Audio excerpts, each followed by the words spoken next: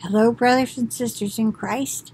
I would like to share with you this video because it's really good and it's about sharing um, remedies. It's called Remedies Right in Your Home for Killing Viruses.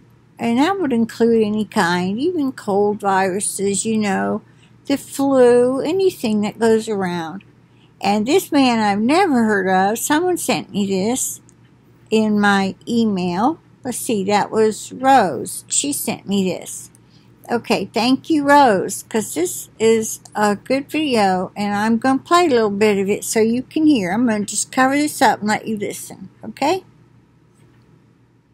Is getting a bit insane, uh, the nature of our world today, over what? Right in your home, you have everything you need to support your health. And a respiratory system that's gone awry, okay, what's the big deal? So you have a sore throat, you have scratchy throat, maybe your tonsils are swollen, you have a dry cough, you have maybe a fever that spikes, or maybe you just have the junk and you're congested. Who cares a hill of beans? It can't kill anybody. What has to be done is to understand the power of home remedies, what our God Almighty has given us, and you've got it right in your home. Why don't you take advantage of it? So let's go through the list. Number one is raw honey, a Quranic medicine, a cure for all diseases that afflict humankind. It should be a, it has to be raw. Can't really be GMOs because the GMOs might make you sick. It's more complicated now. And so we can't have it feeding on canola. We have to find a source that's from nature, and ideally the beekeeper is caring about the bees and the nature, and he doesn't feed sugar or corn syrup or GMO soy cake, and and and is fair to the bees, and then the bees will be fair to him and be more industrious. If you can find that kind of honey, if you can't, it's got to be raw honey. And, and so that would be for the sore throat, the congestion, for the bronchial, for the dry cough, uh, incredibly good. And if you can get the really good wild honey or some kind of honey where they never feed the bees sugar and there are no GMOs, you give it to the infant. I'm telling you right now, you better. It's been lost to us for now uh, 50 years since Merkin published the uh, uh, foul conclusions where he basically caused the honey to be banned from the babies. And that disaster happened, you should know, because they fed brown sugar to the honey.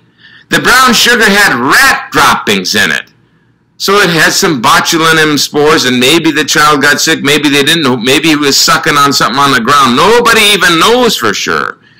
But uh, the, to, to condemn uh, God's favorite medicine, at least one of them, the second one would be so, so honey also is an antiseptic for the gut.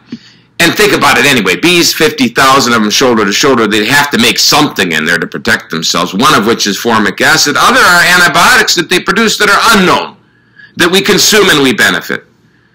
And waste not, because it might take a bee a lifetime to make even a teaspoon. But now, what else could we find? Who doesn't have some garlic in the house? And it could be the powder, but better is the is the like the raw form. And if we had the garlic, we could chop it up and eat it raw. And so acrid, anything acrid is going to stop whatever might hit you. It's guaranteed. And so uh, we could also chop it if we couldn't handle consumption and put it in soup with some onion and then smell the broth, inhale it, also uh, drink it. And okay, that was about half of it. And uh, anyway, I just like the is the way he presents it, and um, you can tell he's very passionate about these things. And I thought you would enjoy this. And uh, I wish I had some raw. I have the raw honey I actually have some raw organic honey thanks to one of you. If you're watching this, you know who you are. You never comment.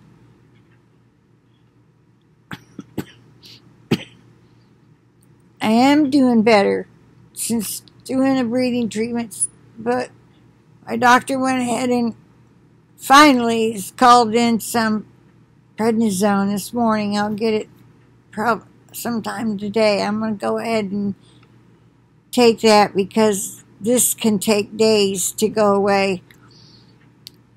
But I wanted to share this video. And for now, this will be it for now. So I'm going to say, um, I'm going to plead the blood of Jesus over this so it'll go up. And I hope his, because we, we have a right to know how to take care of ourselves when they don't have the answer for how to treat viruses. So if we have a few things around our house that can help, then we should do those things, right? All right. They have no right to not let us know. And uh, this went up on August 5th, and it's still up. And today is um, August 11th.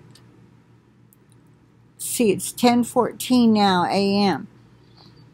Okay, so I'll plead the blood of Jesus over it and over myself, my computer, and my internet connection, and over each and every one of you, and all of your devices, and um, um,